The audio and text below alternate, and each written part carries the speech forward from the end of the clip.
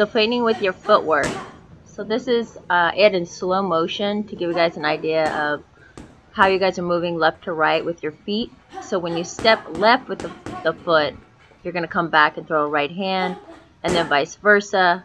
Uh, you don't have to jump around. Um, you could simply just move that foot out and then come back with it. Uh, but this is the basics of feinting with your footwork.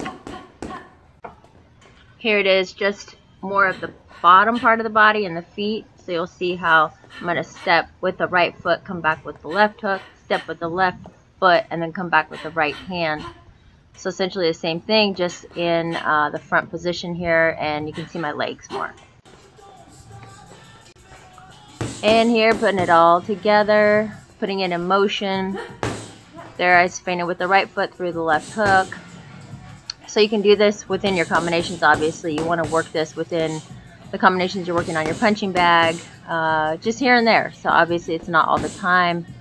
But feinting with your feet is always effective. Um, we feint with our shoulders usually, but with the feet, a lot of people don't expect it.